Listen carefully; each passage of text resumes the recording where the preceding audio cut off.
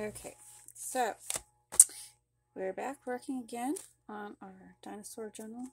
I've already taken off the, the little strap that goes on it so we can get working. And I Mod Podged all of the little leather pockets, faux leather. And I already did a video on this, but it didn't work for some reason. So I'm going to just go back and show you what I did after the fact. Okay, so I used a little bit of paper bag and put on the back side of this pocket. And then I put one of the stamps here and a whole bunch of the stamps on the inside.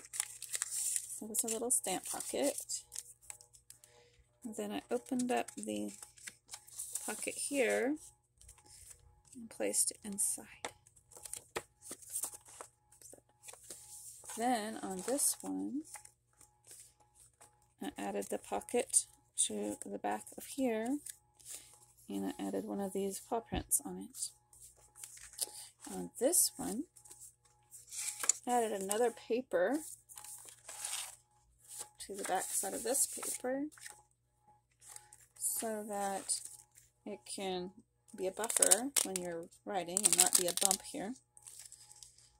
And I added all these little color in goodies to this pocket. And some Velcro, hook and eye, whatever you want to call it.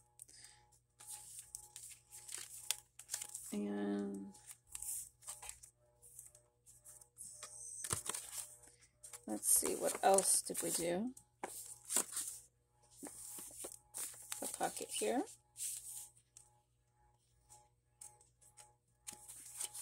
A pocket here. I cut this one so it fit nicely here. Just a little piece of paper there. And I curve the edges. I like it better that way. And then I put one up here. Curve the edge there. And then I put this really big one right here. And I cut it like this.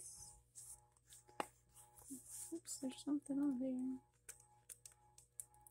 There we go. It was just some extra Mod Podge. And what else? Oh, this little pocket here. I haven't put anything in it yet. Let's see what I have to put in it. I could put the rest of the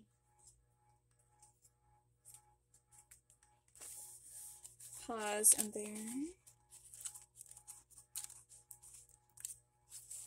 If I can get them to fit right. They may be too big to fit. I'll just hold it again. There we go. Now they'll fit. Do I have any more? I think that was all. Alright. That's all for now, guys. See you later. Bye-bye.